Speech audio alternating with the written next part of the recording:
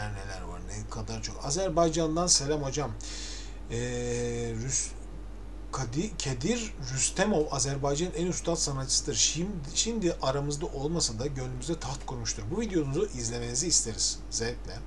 Hadi sizi çok seviyoruz. Tomris ee, Masaget. Selamlar, sevgiler Tomris. Dinleyelim bakalım.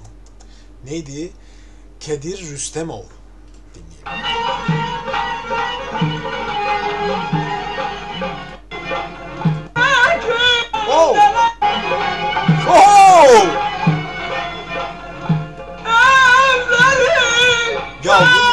Tenor renkler bunlar ya? Hepsinin teknikler de dehşet güzel ya.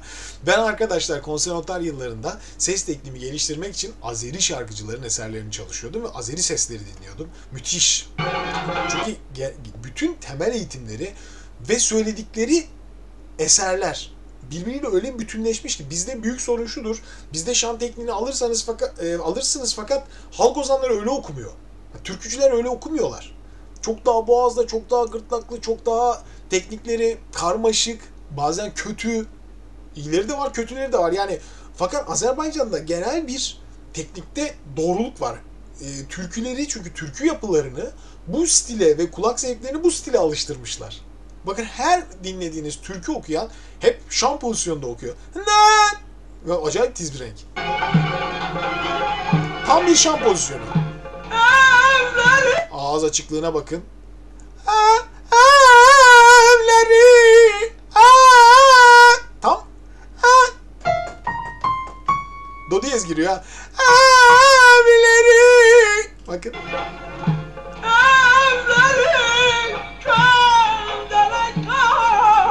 Ha!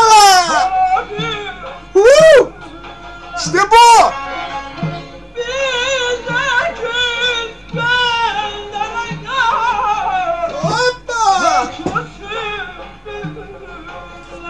Sesi o tizlikte nasıl yumuşattığını görüyorsunuz değil mi? Nasıl lezzetli ya. Harika.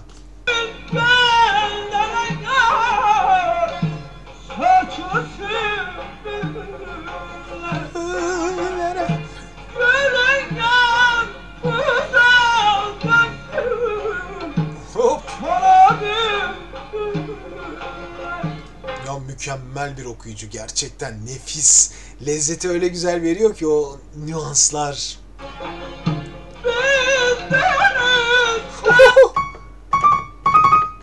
Mi bemole de çarparak.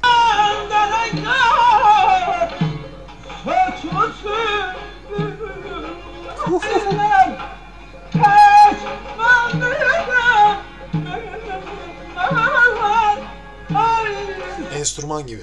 Gerçekten enstrüman gibi. Teknik yüzde yüz doğru. Arada gırtlak... Şu inerken biraz kafayı kaldırarak yapıyor. Belki karşıya bakarak da yapabilir ama ona daha kolay geliyor herhalde o hareket. Fakat o tiz tutmaları falan inanılmaz ağız açıklıklarına bakın. Bu sesler hep açık açık. Büyük büyük. Görüyorsun mi? E, Ö, Ü. Hep büyük harflerle. Yani bizde pek yok bunlar arkadaşlar. Biz bunları hep dar kullanmaya alışmışız. O Azeri stilinde, Azeri türkülerinde hep açık. Çok açık alışkanlıklar. O da o temeldeki o şan tekniğinden, o etkiden geliyor arkadaşlar. Yani bu bir temel teknikten gelen şeyler.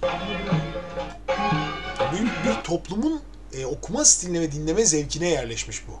Bu açık okuma stili. Bizde tam böyle değil. Türkiye'de daha kapalı ağız şeyler de var. Biraz arabeske yakınız. Biraz arabeskleşmişiz aslında. Mesela Türk sanat müziğinde e, Münir Nurettin eserleri mesela, Münir Nurettin Selçuk eserleri benzer yapı taşır. Açık ağızdır, Endülüs'te raks. Bütün eserleri Münir Nurettin Selçuk'un şan pozisyonuna çok uygundur. Çünkü kendisi şancı. Eğitimini zaten opera teknikleri üzerine almış.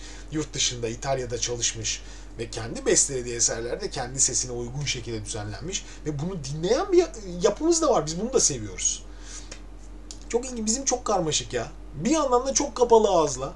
Çok diye okumaları da seviyoruz. Bizim biraz müzik zevklerimiz karman çorman. Azerbaycan'da bu kadar değil. Bir halk müziği dinlenirken ve okunurken genelde belli bir stile e, yapışıyorlar. Açık ağızlar, doğru teknikler. Bizde biraz karman çorman ortalık. Ondan kafalar çok karışıyor bizde. Biri hep şunu diyebiliyor o zaman. Hani ya hocam şan tekniğine ne gerek var? Bu- ama bu mesela Azerbaycan'daki bu, bu eserleri okumanız için şan tekniği bilmezseniz okuma ihtimaliniz yok. Bakın okuma şansınız yok. Eğitimsiz bunu yapma şansınız yok neredeyse. O kadar güzel teknik geliştirmeniz gerekiyor.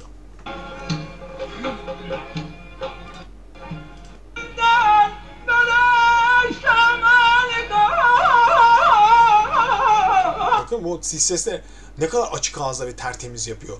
Tam bir şan pozisyonu. Ses bu bölgede çarparak dışarı gidiyor. Çok güzel. Örnek pozisyonlar yani mükemmel. Bir tenor renk bu arada arkadaşlar yani sadece tenor sesler bu renkleri bu kadar güzel çıkartabilir.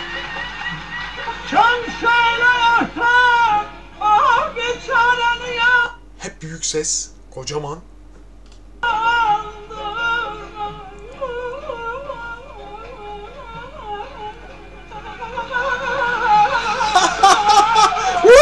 İşte bu. Ve nasıl nasıl nasıl güzel gelen tepkiyi de görüyorsunuz değil mi? Ya kulaklar çok alışkın.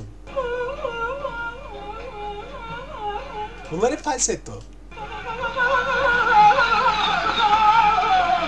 Vur gitsin, vur gitsin.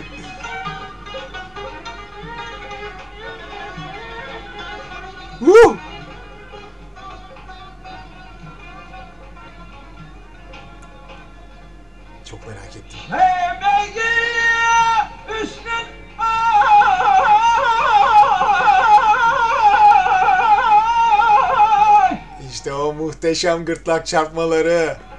Nasıl alıştık ya Allah'ıma çok şükür. Vallahi billahi yani şu sisteme eee, biz nerede girdik biliyorsunuz Humayun Şajaryan'la başladık. Oradan İran müziği, oradan Azerbaycan müziği, bir özel videolar falan artık kulaklarım alıştı buna. Yaşasın, yaşasın. Eminim sizlerin de alıştı. Beni yandırsan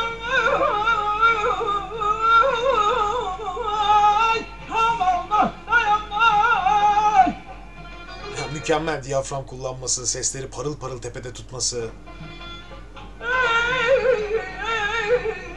Bir şey diyeyim mi arkadaşlar? Şu teknikle okuyun ya. 2 saat 3 saat okuyun.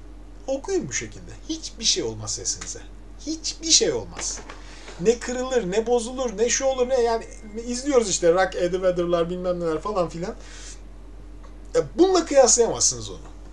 Bu doğru teknik. Diğerleri her zaman sesi yoran şeyler barındıran işler arkadaşlar. Şimdi bakın kaç yaşında acaba Kadir Rüstemov bu şeyde? En az bir 15-20 sene daha böyle okurdu. Net. Yani 70-75 yaşında bile böyle okur. Ben de bu sesten okur. Ben iddialıyım.